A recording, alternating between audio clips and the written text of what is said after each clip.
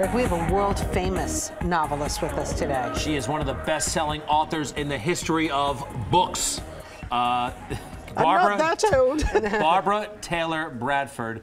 Uh, the new book is called Cavendon Hall. It's a novel, and uh, we are thrilled to welcome Barbara back to Good Day New York. Congratulations. I'm glad to be here. You're my favorite couple on television. Really? That's favorite so couple, sweet. period. oh, that's so nice. Well, we really, we're going to unco- unconsciously uncouple. We're consciously Oh, uncouple. yes. Consciously couple. Couple, whatever Consci- we're doing, we're doing the opposite of whatever uncouple. Gwyneth and, You're and Chris did. Right. Yeah. You know, she, they've taken the mickey out of her for saying that all over the Oh, world. they making fun of her over there too. Oh, tremendously so. Oh, poor girl. Poor girl, but she said it. Well, this let's- book looks uh, interesting from the cover, not the judge, but uh, what's inside? Two families living at Cavendon Hall. The two families over the generations have been involved in, in the sense of the Inghams, the aristocrats, have had the Swanns as their retainers, so they're very intermingled. And then there's the downstairs. They're not really servants, they're very privileged, but they're not quite aristocrats. And where but a family, now two families, to find drama, hatreds, jealousy, love, infidelity, adultery, ambition, everything in a family. So the two families are there in 1913.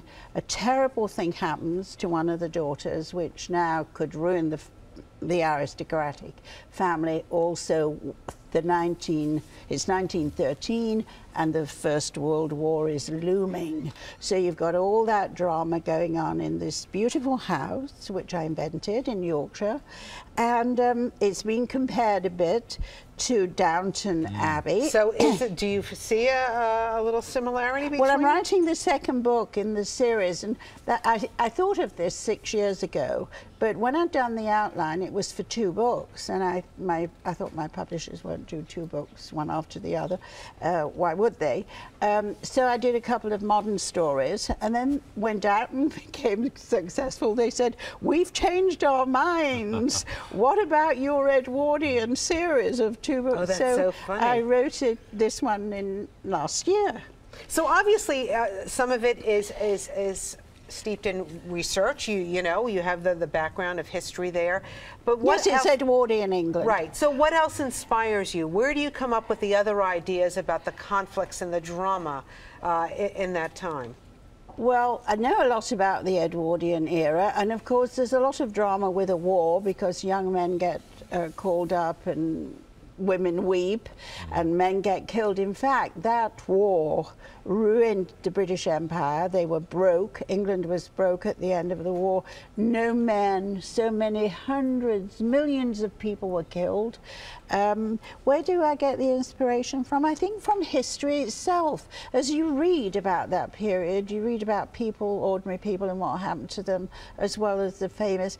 Um, it came out in England. It was, was on every bestseller list in, in England. This book? Yes, it came out last month in England. Congratulations! Yes. Are you ready to climb the bestseller list here in, in our town? Well, I hope so. I usually do. I mean, 29 books, right? Yes, and I'm writing the 30th, which is called The Cavendon Women, which is the sequel to this.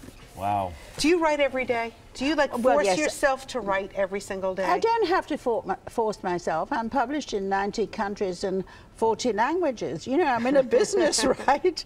I'm, um, what do you call it? Um, a franchise. You are a franchise. So I have to do it, whether I want to or not. But What's you your know, routine? I love it. Your routine.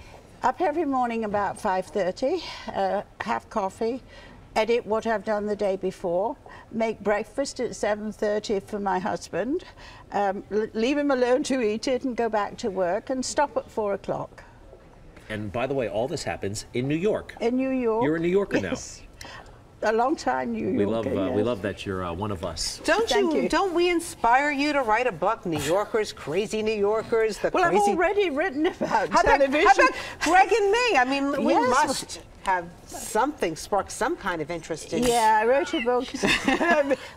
What? She's always pitching herself and me to incredible Anybody authors, Hollywood here. producers, Jerry Bruckheimer, and I'm mortified right, when she does not it. star in this? Maybe you write your own book instead of hitting up everybody who comes No, in. I know. Put I, me in the book. I've got a guaranteed bestseller here. Okay, she knows how to write the bestseller. Well, When Bob makes this series, you're going to be in it.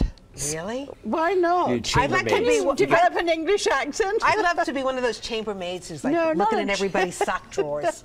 You know what I mean? Could you picture that? no, you're going Yes, to I be. can picture you going through drawers. You're going yes. to be the lady of the manor. Yeah, she Yes, will not be that's the lady of the manor.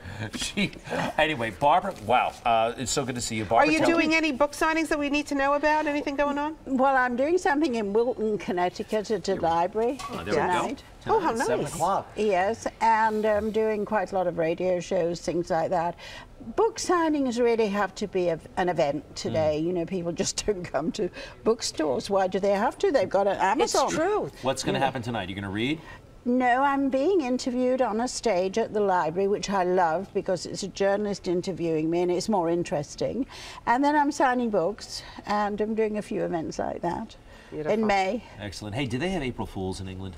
Yeah, uh, yes, I was going to ask the publisher to change the date. Little, No, I'm right? so- Why is it April 1st? Some of the best things happen on April Fools, like when I gave Rosanna a snake about Did it. you, You see he gave me a snake this morning? Yeah, actually, do we have it Was ready? it real? I would love to. I would. It was real, Barbara. Oh, it wasn't a I- phony one? No, I jumped out of my seat. Oh, he's a snake in the grass. in, in honor of April Fools. All we- of a sudden, he became a snake charmer. Check it out. Watch this. You know what I mean? So here's my friend. Oh, that, a beautiful that's not, real- that's not It's real, a real right? snake. It's not. It's a real It's snake. It's oh It's a real real. snake. And she look at her go.